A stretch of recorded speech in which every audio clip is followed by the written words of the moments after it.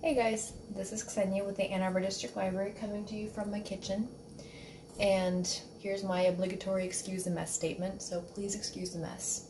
But I have five recipes for Play Doh for you that you may very well be able to make using the stuff that you can find in your kitchen and various other parts of your house. But let's get started. This first recipe calls for frosting and confectioner sugar, powdered sugar. And for this recipe, all you will need is one part frosting to about two and a half, three times powdered sugar. So I'm just going to measure out one fourth cup of frosting and scoop it right into this bowl. It doesn't have to be a microwave safe bowl or anything like that. It's just metal. Um, you don't have to heat this recipe. You don't have to cook anything uh, to get the consistency that you want for this particular recipe. So there's a quarter cup of frosting in my bowl. Next, I'm going to put in again about two and a half, three times um, powdered sugar. So if I have a quarter cup of frosting, that means I'm going to have about half a cup, two thirds powdered sugar. And so just get right in there.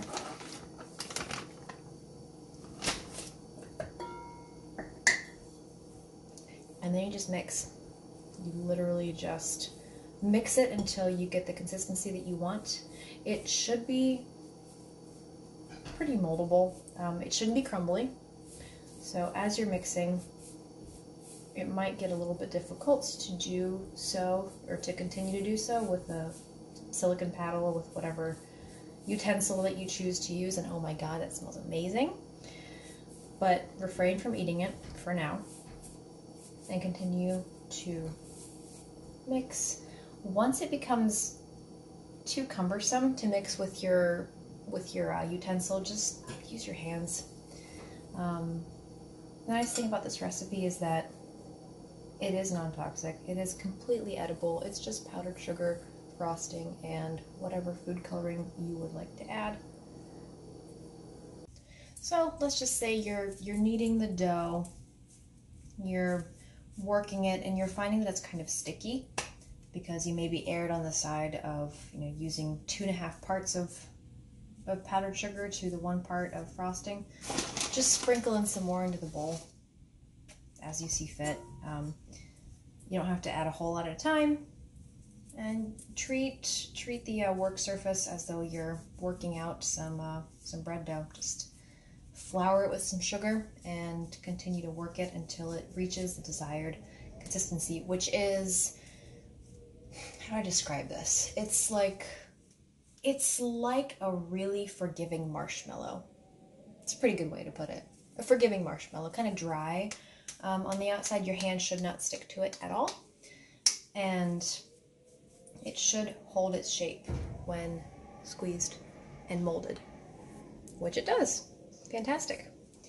And at this point, if you want to add some spice to your life, to your, your Play-Doh life, um, up your Play-Doh game, so to speak, this is the point at which once the sugar and the frosting is all incorporated and is a homogeneous mass of fun, um, take a few drops of food coloring. This is just, this is just some that I've made myself. Um, that's why it's in a, this sort of suspicious looking apothecary bottle. And you do five, six, seven, eight, nine drops into the center of your little dough form and incorporate, incorporate, incorporate. And at this point, you're probably going to find that it's going to get stickier but that's okay. Just drop it more into that, into some more um, powdered sugar, and that'll soak that stuff right up. And it'll be, it'll, it'll uh, retain that nice, dry, forgiving marshmallow consistency that we kind of, that we want. Um, so continue to work the uh, the food coloring through I mean, this looks kind of cool. It's like all marbled and stuff. Anyway, you probably want a more consistent color. So keep working on it for another few more minutes here. I do have a helper today. This is Fritter. He says hello, um, or he would if he wasn't distracted by the mounds of powdered sugar and frosting all around the kitchen. Um, his great talent is eating and providing comic relief on most days.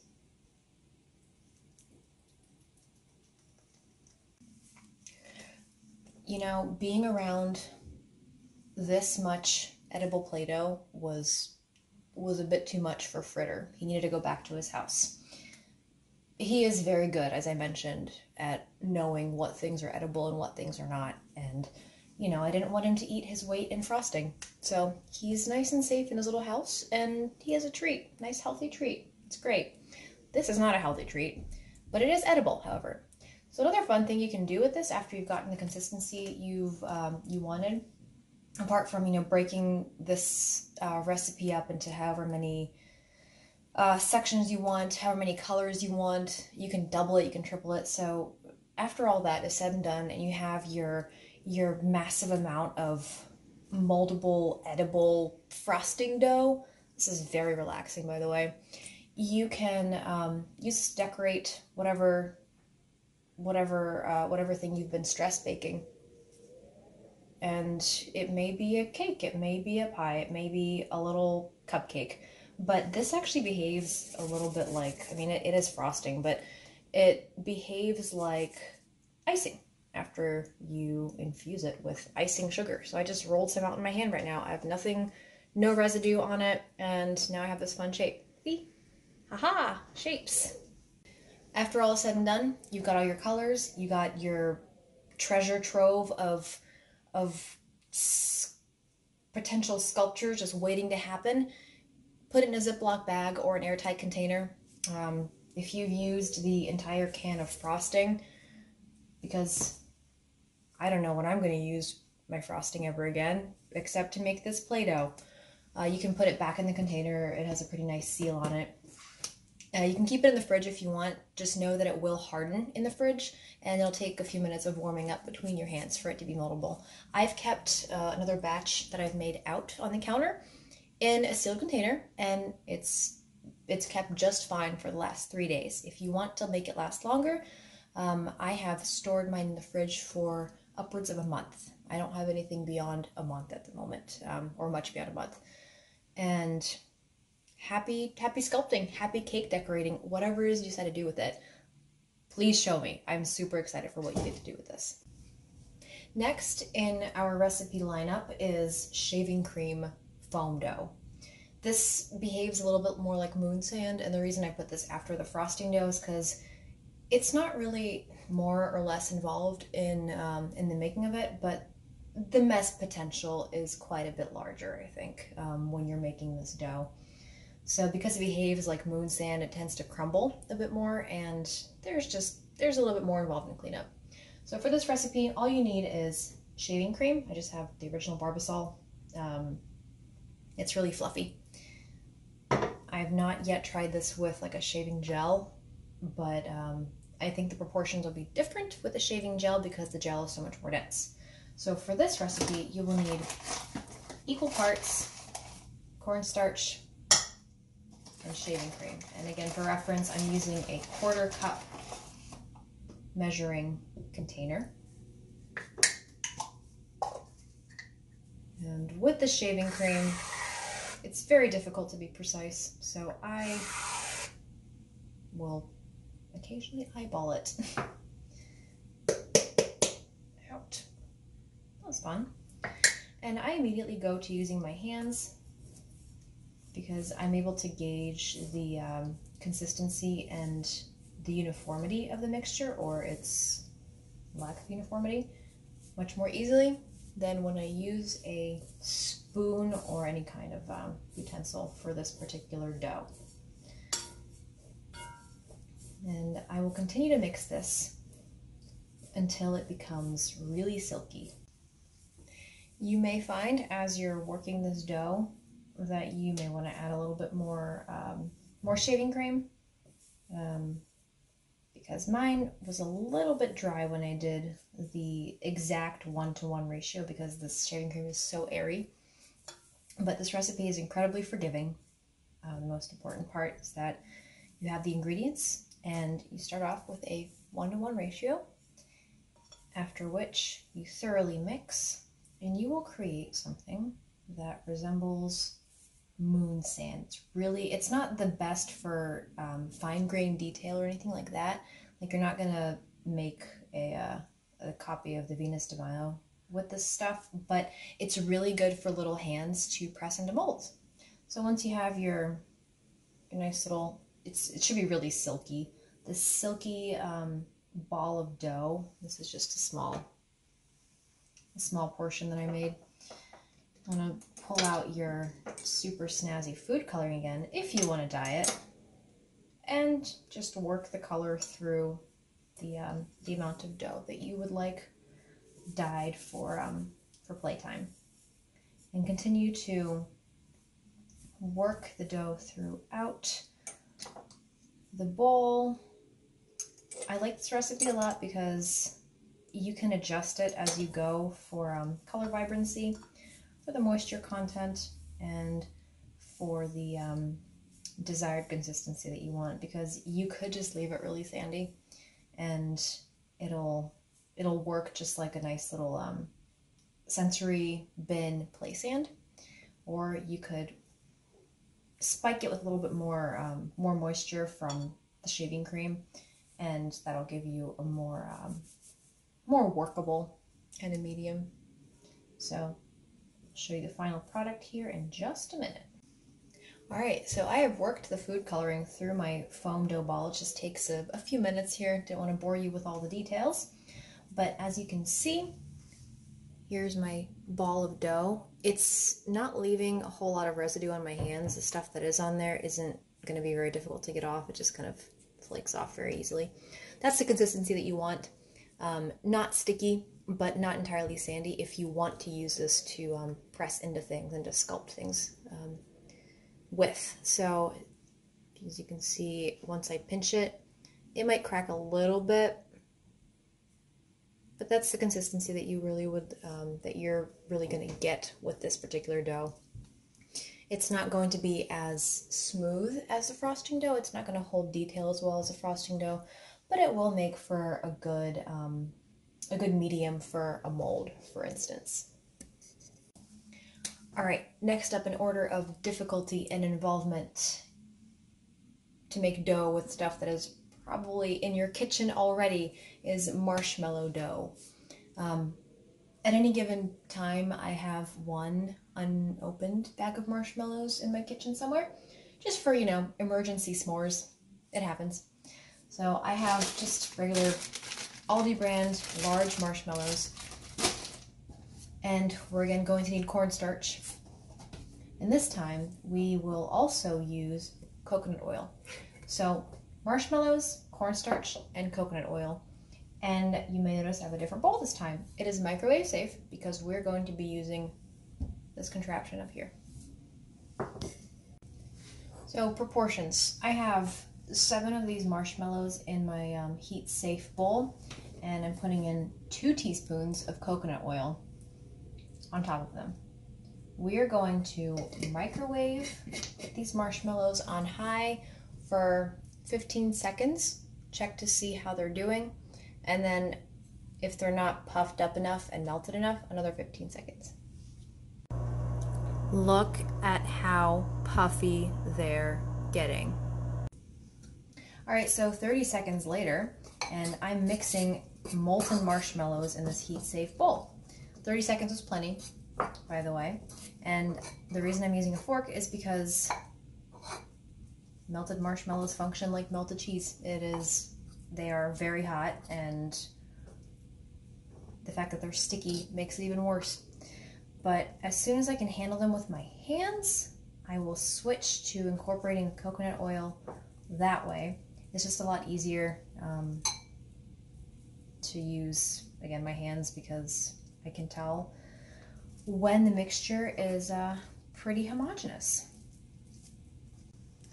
Next, three tablespoons of cornstarch. Just dump it right into the bowl.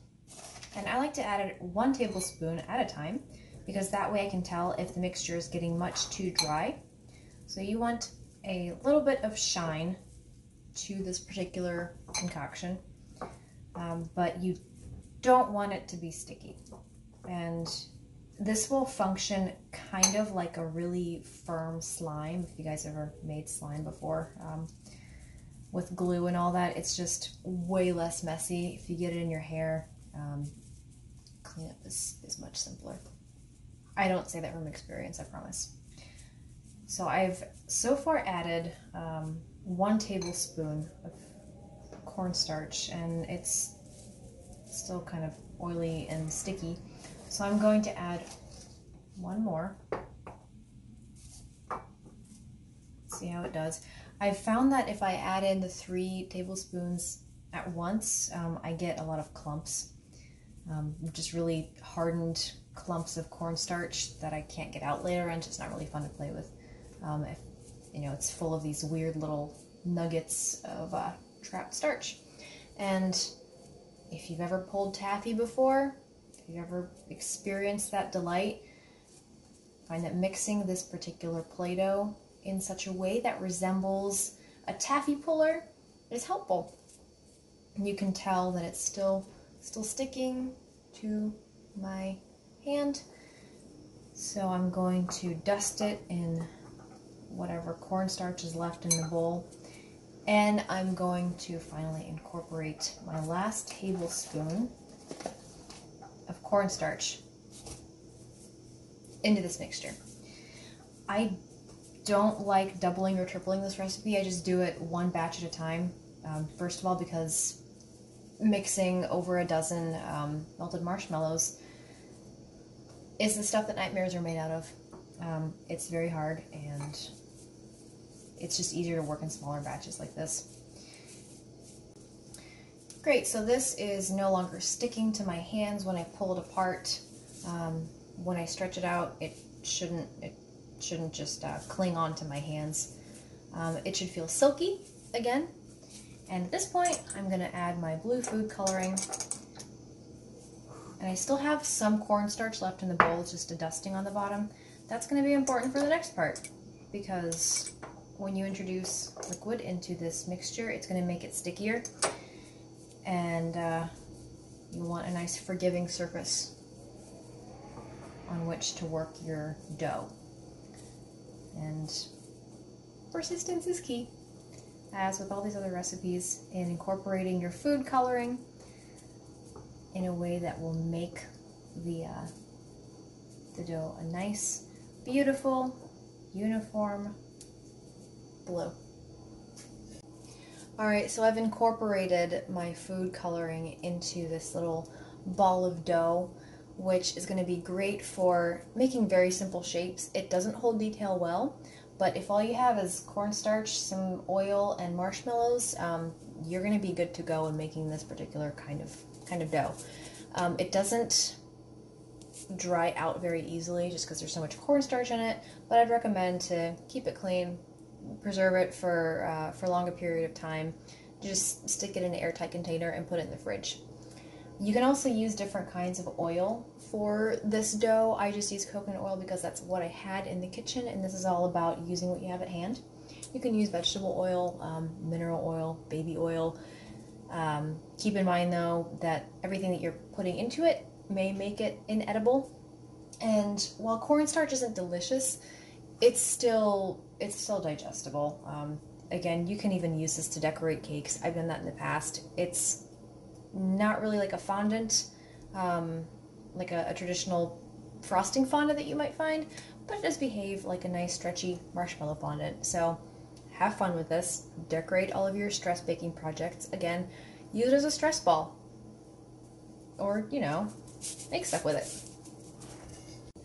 Alright, on to the fourth of the five Play-Doh recipes. This one's my favorite because it behaves just like Play-Doh, and I think it even smells a little bit like the Play-Doh that you find in you know, regular plastic containers. For this, you will need just regular all-purpose flour. I have cake flour because that's all I had in my cabinet, but this worked just fine. Salt, just regular old salt. Cream of tartar. Coconut oil or any other kind of oil that you may have. Again, mineral oil, baby oil, um, vegetable oil. Food coloring and boiling water. So proportions. I'm going to just give you precise measurements uh, for the sake of precision, and you can double or triple this recipe as you see fit. Three quarters cup of plain all purpose flour, or in my case, Swans Down cake flour. A quarter cup of salt. A tablespoon of cream of tartar. Half a tablespoon of coconut oil and half a cup of boiling water. Now I just boiled my water in a tea kettle on um, over there on my other counter. You don't have to microwave this. You don't have to cook it or anything like that. You don't have to make it on the stove. Um, I just found it a lot easier to boil the water beforehand. Pour it into my um, half cup measurement measuring cup, and then dripping the uh, food coloring directly into the water. So I have my dry ingredients here I'm just going to incorporate them and then add the water here in a sec. Alright, so water has been added. I am mixing with a fork, and as you can tell, it's pretty goopy and um, consistent. Once this mixture cools down enough, you can go to using your hands. Uh, if it starts if it's still sticking to your hands a little bit, this is pretty soft. It's kind of, um, I don't know, oozy in a way. I might add a little bit more flour to it just to make it easier to work with. Don't add too much because it'll dry out very quickly. Uh, but the process of mixing this thing with your hands is going to help remove some of the moisture in the dough. So as soon as you have, there's no better comparison than actual Play-Doh. As soon as you have the consistency of Play-Doh in your hands, you're all done mixing it. So keep working it for several minutes. And if you feel that this is too sticky, and you don't want any residue being left on your hands while you're mixing this um, when you go to play with it, then just sprinkle in a little bit of flour and it should work just fine. But again, before you add in a whole bunch of extra flour, mix it for about three minutes or so in your hand. Just actively um, keep incorporating, keep folding, keep stretching. That way you don't add too much flour on accident and it becomes kind of a big crumbly mess. All right, I have my nice wonderful lump of blue Play-Doh. It behaves just like Play-Doh. You can do anything with this that you do with Play-Doh. Those weird little pasta extruders that give your plastic toys like Play-Doh hair. I don't know if that's a thing anymore. You knew that. Go crazy. This holds detail pretty well. Um, this also keeps very well, especially in the fridge, because there is water in it. You want to uh, preserve its freshness by putting it into an airtight container and storing it somewhere nice, dark, and cool, like your refrigerator. This will dry out in the air, so if your kiddo wants to make something to um, have for years after this, then um, you don't have to bake it or anything, it'll just dry on its own. And now, on to number five, the fifth Play-Doh recipe. All right, so this really isn't a Play-Doh, it's more of a, um, a polymer clay. And I really like this recipe a lot because it holds the details very well. I've made beads and jewelry with it before, sculptures, little things like that, toys. Um, you don't have to bake it in order to dry it, so you can just let it air dry, and it doesn't degrade or shrink over time like salt dough might. So for this, you will need three quarters cup of just regular school glue, one full cup of cornstarch,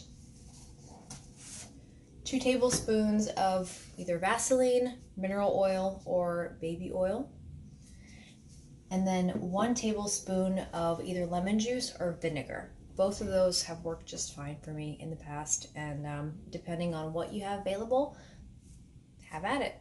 You can use either one. Uh, what matters is that we have something acidic in there to prevent bacterial growth from uh, taking hold. I've put in all of my ingredients. Sorry, I have Vaseline on my hands now. All of my ingredients into a non-stick pot.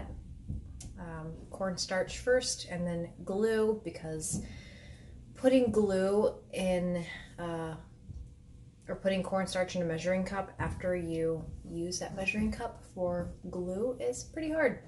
So I just put in um, my cornstarch, my glue, and I'm putting it over low heat. I added in the Vaseline, and in my case, I just used regular cleaning vinegar. And I'm going to keep this pot on very low heat, stirring almost constantly and vigorously. And your arm may get tired, but that is all right. Um, you want to keep this mixture going. If it starts to harden and seizing up, um, you kind of lost it, unfortunately. So that's why it's very important to, throughout this entire mixing process, just keep on moving this mixture around and it's going to start resembling kind of like really lumpy mashed potatoes.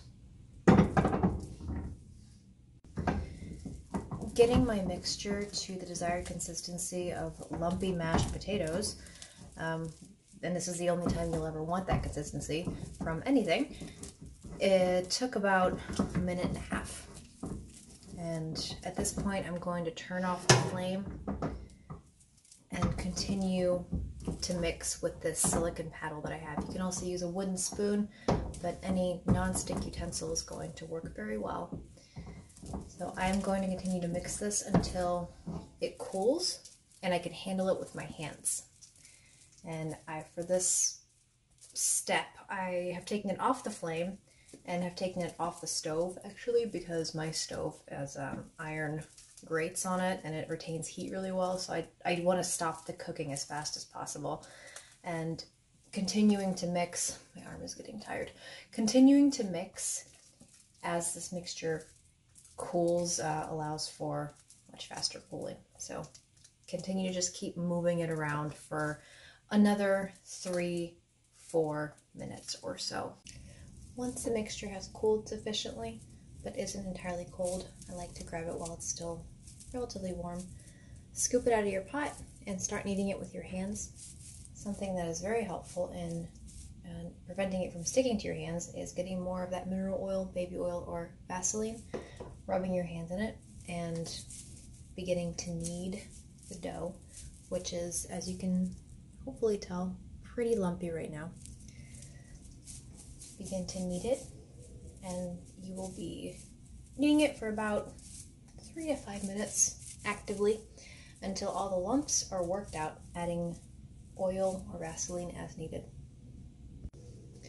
At this point, while you're working out the lumps from your, um, your handful of polymer clay, you can choose to add food coloring to it, or like I did with this one, or you can continue to work it until it's smooth and actually paint over it once it's dry which is the preferred method of those who use it in jewelry making or ornament creations, that sort of thing. So you don't have to limit yourself to um, one mass of color in a batch of dough.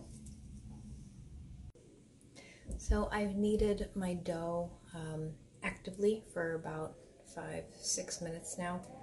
And as you can see, it's smooth, um, apart from where I've just folded it.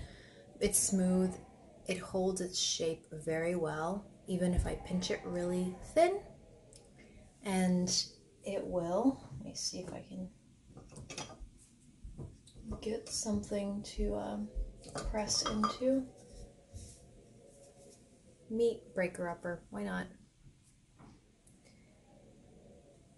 As you can see, I've made a deep, relatively sharp indentation and it holds its shape very well and that's how it will dry. It won't shrink, it won't expand. Um, leave it out on the counter and it will dry within three days or so. Um, afterward you can paint it and do with it what you will. Um, another fun project with this is breaking off pieces and rolling it up into uh, little little balls, poking a hole through the center with a skewer, and letting them dry that way, and you have yourself a bead or very many beads. So have fun with all those recipes and let us know what you make with them. Whether it's decorations for cake, for um, when you stress bake an entire, you know, an entire white cake or what have you. That would be fun. Or if you just want to share all the fun colors that you've made with all the clay that you have created, that would be great. So troubleshooting, uh, the first recipe just has um, frosting and powdered sugar in it. If it's feeling too sticky, keep adding powdered sugar. Just do a, a light dusting on whatever work surface you're working on and incorporate it into your dough evenly and it should be just fine. That that dough um, doesn't really dry out, so you if you make something out of it, it's not going to um, it's not going to keep if you squish it. So it's just a, a one and done kind of thing, um, or you, can repackage it, play with it again. Again, that's safe, uh, safe to put in your mouth, eat, use as cake decorations, whatever you want to do. The second one, um, shaving cream and cornstarch might be a little bit harder depending on what kind of shaving cream you use. If you use a gel, you're going to want to use um, a more exact one to one ratio of shaving cream to cornstarch. The stuff that I use is really fluffy, so I ended up using more like one and a half to two parts of shaving cream to one part cornstarch. And what's helped me with that, uh, with mixing it, is actually getting the the mass, the sand, um, into my fist and squeezing it so that all the the uh, the stuff, the sand, the cornstarch, the shaving cream gets squeezed out. You're basically working all of the air out of the um, the shaving cream as you're doing that. The marshmallow recipe is really easy, self-explanatory. Um, I would just say that expect once you add food coloring to the marshmallow Play-Doh that it's going to become stickier that's okay. Um, just use some cornstarch. Again, that stuff is edible too, and it doesn't hold its shape very well, but it's really good to play with, and it smells fabulous. Then the uh, fourth, fourth, I can count. The fourth Play-Doh is pretty much like the Play-Doh that you would get in the store. Um, troubleshooting with that, work it for a while before you add a whole lot more um, flour to it because just actively working it and um, exposing it to the air with your hands is going to um, help dry it out quite a bit. And again, you can just treat it like like bread dough. You know, slap it onto a floured surface and fold it, knead it, punch it with your hands, um, and it should it should work just fine. And that'll keep very well in the fridge um, in an airtight container, and that will dry out if you just leave it out, which is nice if you want a keepsake of some sort uh, but it will shrink and degrade a little bit as it dries. So just keep that in mind. If you want to keep it for playtime later on, plastic bag, sealed container, fridge, and it'll be good to go a month from now. And the fifth dough recipe that we had was a polymer clay. That's the most involved one. Again, you can use for the um, the acid either lemon juice or um, vinegar, cleaning vinegar. I haven't tried stuff like white wine vinegar or rice vinegar. It would that would work too. Um, it might smell a little bit funny, but that would work. Anything really mildly acidic like that would be fine. And with that, you just really need to watch as you're cooking it over the low flame. For me, like I said, it took about a minute and a half for it to become lumpy and start forming harder, um, harder clumps in the mixture at that point is when you want to um, you, you need to turn it off take it off the heat and mix it quickly and as well as you can um, to distribute the heat evenly once it becomes kind of crusty-ish and yellow on the outside it's overcooked and I don't know of any way to sort of resurrect that dough, but if it's just becoming kind of lumpy, don't worry about it. Keep mixing it off of the heat, and as soon as you're able to work it with your hands, do. So just take some more Vaseline, baby oil, mineral oil, just slather your hands in it and start working it, stretching the clay. Um, and that'll hold its shape really well. You can store that in the fridge to prevent it from drying out in a plastic bag uh, or in a sealed container, otherwise, it will dry and you don't need to bake it. That clay will keep its shape well, make jewelry with it, make sculptures with it, ornaments, and have a blast.